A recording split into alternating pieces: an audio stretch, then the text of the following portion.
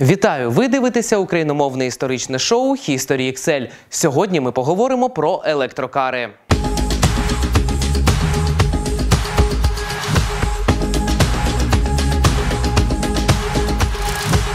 Нам тільки здається, що електромобілі з'явилися порівняно нещодавно. Насправді ж, перший патент на електромобілі як винахід було оформлено у Великій Британії ще у 1799 році. Це була ідея зробити візок, що рухається завдяки електриці. Щоб все запрацювало, потрібен був електродвигун з якорем, що обертатиметься, та переносна батарея, яка даватиме енергію мотору. На початку автомобільної ери у електричного двигуна та двигуна внутрішнього згоряння шанси стати головними були однаковими. Кожен мав переваги та недоліки. У перших важкі хімічні батареї, цинкові пластини, яких часто доводилося міняти. Можливість заряджати акумулятори з'явилася набагато пізніше. У других незручний стартер. Потрібно було крутити ручку та нелегке управління, перемикати передачі на повному ходу. І зараз вміє не кожен. І неприємний запах та шум. Швидкість обидва претенденти видавали приблизно однакову, але спочатку до смішного малу близько 4 км на годину. На деякий час у цій боротьбі електромотори вирвались вперед. Після того, як у 80-х роках 19 століття свинцево-кислотні акумулятори вдосконалили, шанувальникам бензинових двигунів стало нічим крити. Швидкість обох вже досягла 30 км на годину. Тільки от електрокари були настільки простими, що з керуванням легко справлялися навіть люди похилого віку. У 1895 році француз Шарль Жанто розігнав свій електромобіль до 63 км на годину. А в 1899 році бельгієць Каміл Жанатсі виставив на автопробіг поблизу Парижа автомобіль в формі снаряда з дивним іменем Ладжа Маїс Контенте. Завжди незадоволена. Ця чудова конструкція показала результат 106 км на годину. Здавалось, у двигуні внутрішнього згоряння шансів не залишилося. Протягом 1899-1900 років загальна вартість проданих в Сполучених Штатах Америки електромобілів перевищила вартість бензинових та парових аналогів. А у 1897 році в Лондоні, Берліні, Парижі та Нью-Йорку з'явилися перші електротаксі. В 1907 році компанія Detroit Electric випустила перший серійний електромобіль, що розвивав швидкість 39 км на годину із запасом ходу 80 км без підзарядки. І все ж таки у електромобілів було слабке місце акумулятори. Вони залишалися занадто дорогими в обслуговуванні і витримували обмежену кількість циклів зарядження. Після чого вимагали повної заміни. Ще й власне зарядка вимагала особливих умов. Підключити до звичайної розетки автомобільний акумулятор було неможливо. А про розвинені мережі зарядних станцій у ті часи можна було лише мріяти. Запас ходу у електромобілів в середньому був від 40 до 80 кілометрів. Тож тривалі автоперегони були неможливими. Врешті-решт, технічний прогрес зіграв проти електродвигунів. Нафта подешевшала, як і автовиробництво. А ще й винахід електростартера для бензинового двигуна лише пів оберта ключа, і машина завелась. Більше ніяких незручних ручок для запуску. Це був жирний плюс. І до 1935 року виробництво електромобілів було повністю призупинено. Згадали про них вже ближче до 70-х років ХХ століття, коли в світі стало питання про глобальне потепління, забруднення атмосфери та охорону навколишнього середовища. А ціни на нафту поповзли вгору.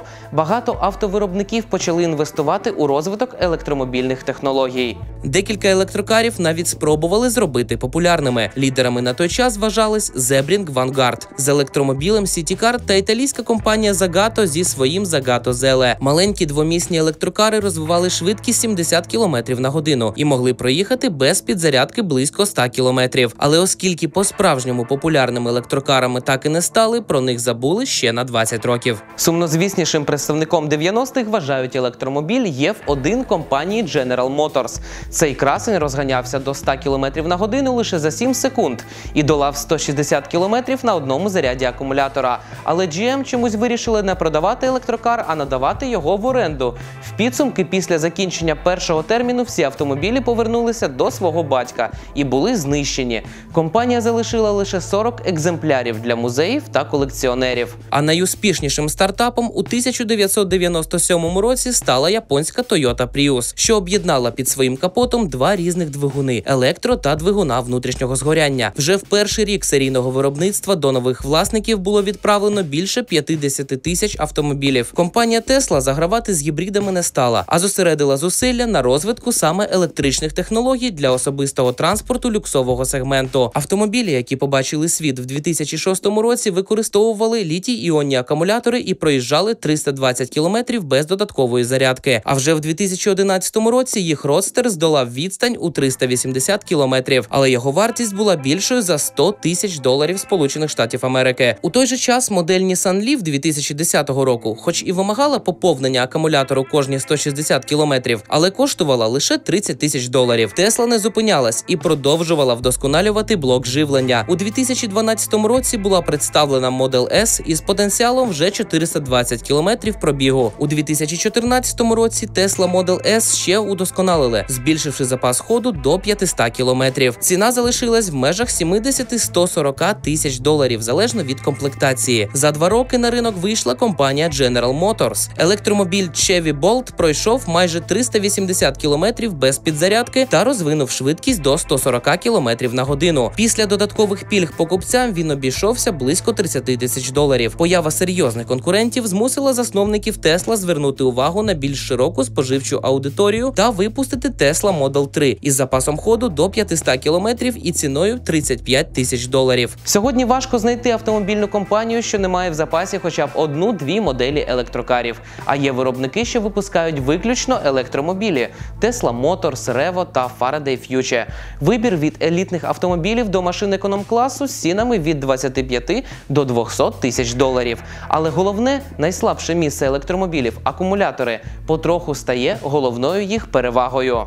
Сучасні електрокари розганяються від 0 до 100 км на годину за 5-7 секунд і мають запас ходу 300-500 км. Заряджаються від звичайної побутової розетки за 7-9 годин або за 20-30 хвилин на станціях підзарядки. Останнє вже давно не рідкість. А Тесла взагалі розвиває власну мережу електрозаправок і надає покупцям своїх моделей безкоштовну зарядку батареї або швидку її заміну. Поповнення її сил займає близько 90 секунд, а заміна коштує близько 60 доларів. Електромобілі нарешті стають справжніми конкурентами машин з двигунами внутрішнього згоряння. Вони це заслужили, боролися майже 200 років. А на цьому на сьогодні все. Ставте великий палець та підписуйтеся, щоб не прогавити наступні випуски. Дописуйте у коментарях про електрокар своєї мрії та підписуйтеся на сторінки шоу Хісторі в соцмережах. До нових історичних зустрічей!